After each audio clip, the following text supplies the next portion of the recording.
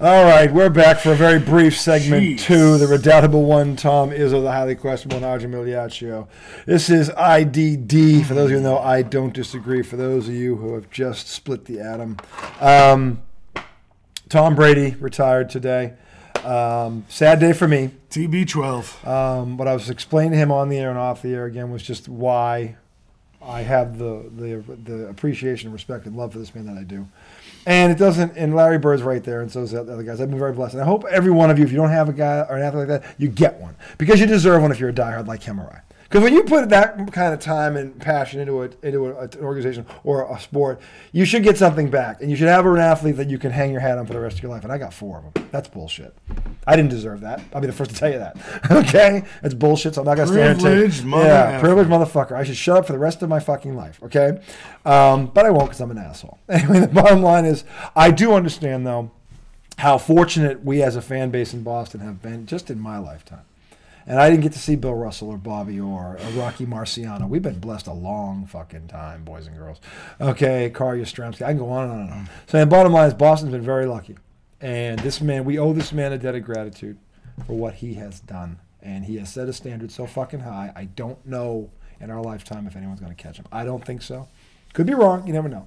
But to Max Max Kellerman of all people today, who was the one who predicted the cliff, I'll tell you. I, I'll tell you what.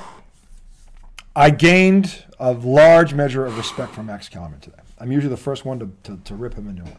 But Max Kellerman fell on the sword today, replayed the clip of him calling for the cliff on ESPN, and turned around and said, What this man did, eh, Aaron, I, I used to think Rodgers was better. I'll never be I'll never say that again. He was just like, there is something to be said about what's going on in here and what's going on in here. And Aaron Rodgers, from a skill perspective, laps Tom Brady. From everything else, Tom Brady laps him. And it's not even close. And Max Kellerman fell on the sword did that today. Of course, he had to be Max at the end and talk about his five Brady moments. So guess what one and two were?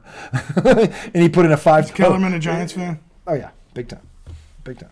Um, and that's fine. But I'm just like, and Damon Woody, who's got the show, going, man, you are an idiot. Like the greatest that ever did. this is what you, you know, that's just a backhanded shot out the door because he because he made you look like the buffoon that you are, and you still had to, you know. So, but that's Max Kellerman. But at least he did that. He went that far. He, that's farther than I thought he'd go. So anyway, I give him. I'll tip my cap to him for that. And um, but uh, what I would tell you is, um, I hope you all get it. And Patrick Ewing might be the closest thing for him. I don't know.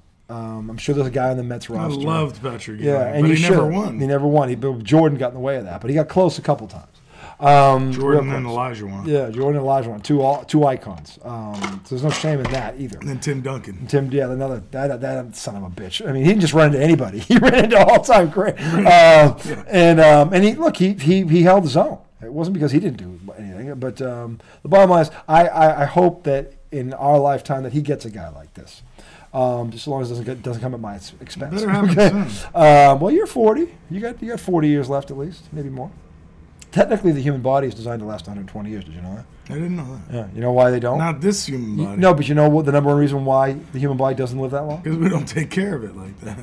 Hydration. Uh, The average 70, the average 30 year old is 70% water. The average 70 year old is 30% water. So when people give you this shit about drinking more water, remember that number. Because that's why people die. They're dehydrated. That so you're causes- saying oldies aren't drinking water? people, it, this happens over a, gra- I said 30 hmm. years old, 70%. By 70, you're 30%. This is over a gradual. Because you slowly stop s- drinking water? You don't drink it enough at all, and it, eventually it, it gets to you. I drink a pretty good amount of water.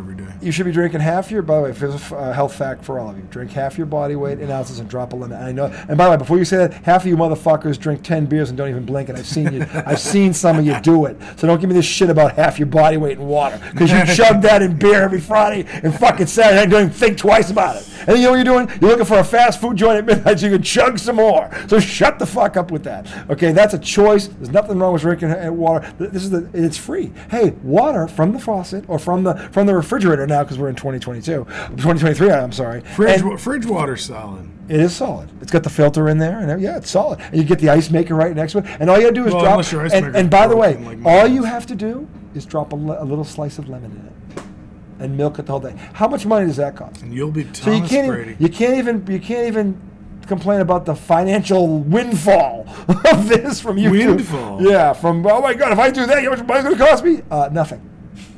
Did anybody mm-hmm. say So- drinking water would cost that much? I mean, unless you're drinking the number, Evian. the, the number two cause of death in this country is dehydration, of illness rather, that leads to death. The number one, booty foot. no, no, visceral fat, Visceral fat. which is in every. oh, every you're, fucking you're thing. preaching isogenic So no, this is a this is a doctor who wrote shit. Careful, this. careful, A doctor. careful, everyone. He's I didn't to sell- say- I He's didn't- trying to sell you. No, I'm not. I'm trying to sell you on the fact that Tom Brady will never be seen again. And the next person who talks to me about how Patrick Mahomes can run backwards on his butt cheeks and throw a 40 yard bomb into a moving target, okay, I'm going to laugh at. You can throw a football through a needle in a haystack. while backpedaling on his cheeks, on his butt cheeks. That's how great he is. I swear to God, Cris Collinsworth last Sunday almost threw up my mouth. Oh my! Acting like no one had seen the guy before. Okay, and he's, at, he's Remember when he made the, the Oh. half pass and he dropped it? He goes, "What a play by Mahomes!" Yeah, remember that's what I'm talking about. What an idiot! Fucking, What I guarantee you, Mahomes. every former football player is going, Chris, just shut Just up, shut up." just shut the fuck up, Chris. he just dropped it. It wasn't about oh no, no, he dropped it. He fucking dropped it. What a play by Mahomes! What a play! The smartest play you won't see a man make it smart enough to drop it the right way. Shut- what the fuck are you talking about? What a play by Shut the, Cris Collinsworth. Do the world a favor and shut the fuck up. We are all getting dumber listening to you. What? I can't fucking. I still can't fucking believe he got away with that. No one said nothing. Are you fucking No, me? people were crushing him. Oh my fucking god! The, the, the, first of all, the skill level to obtain a drop of such magnitude. Of such, I mean, what a play by! I've never seen a man talk about a drop, like as in you drop it out of your hand. Okay, like like fucking was he was. CC. Oh my fucking god! Are you kidding me?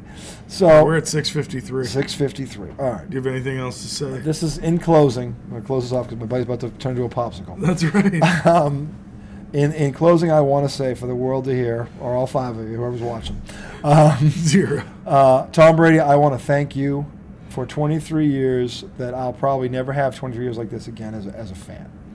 And I hope my friend gets 23 years as long as it's not as, at my expense of a fan of a, Our of a teams- guy Our teams aren't. of a guy like you, because every diehard sports fan on this planet deserves a guy or a girl, uh, someone like A you, person. and the, a person like you. And the reality is, you came along. I mean, you don't come along. There's just not you. So I hope you understand this, and you're going to hear this for the next three months before you get near a TV screen again. Um, I want to thank you for everything you did for me in my life. You gave me hope in a world where there's not a lot of hope right now because you were the common man who showed that you were very uncommon. And I will take that to my grave with me. I love you and I'm going to miss you. Congratulations.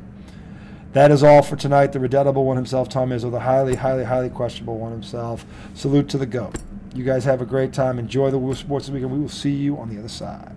Until then, boys and girls, remember, just like Aaron Rodgers in the title game, tight, tight like a fucking drum. so tight. tight. Aaron Rodgers is so tight that if you put a lump of coal up his ass in two weeks, you'd have a diamond. That tight. Until pressure, then, pressure does make diamonds. hey, shameless plug, Ferris Bueller. Love you, guy.